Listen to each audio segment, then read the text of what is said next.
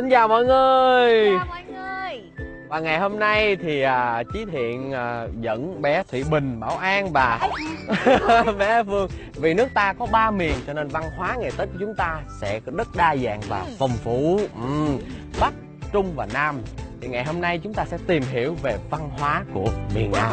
Rồi bây giờ bé nào nè chú chỉ cho con đi tưới vua à, Trời ơi Phương ơi em tưới không như là em tưới hoa vậy đó. Người ta là tạc cái nè Đó Con phải nhẹ nhàng cho anh Nhưng mà để vậy em tạc dài mà Thấy không Đó đi đi tiếp đi tiếp đi tiếp Đây là trái này à, chỉ có chưa tới 10 gram nhưng mà tương lai nó sẽ là một trái dưa hấu tròn 10 ký. to đẹp 10 kg.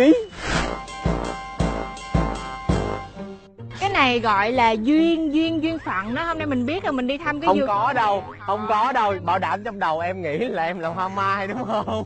Em nghĩ là hoa mai chứ gì? Không, em là hoa vàng thọ, em là hoa vàng thọ. Bây thằng cũng đẹp vậy Wow, cuối cùng cũng xào thành công rồi. Phương quá giỏi. Đây còn đây đây đây đây lá cẩm đây Giáp là dĩa. Khô á nè nè thì bỏ bỏ trộn lên vậy nó mới khô Đây là mứt, Lá cẩm đây là mứt.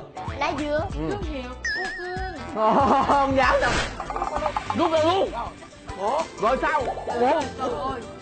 Thật là gian nan. Ủa hiểu không?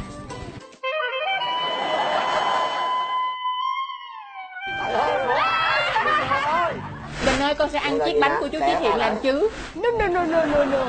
Xuân đã về. Xuân vẫn mơ màng trong nắng vàng khắp cho tiếng reo vang xuân đã về.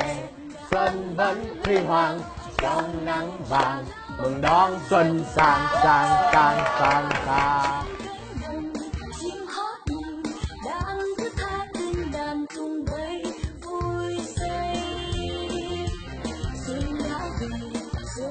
đời ngàn hoa hết môi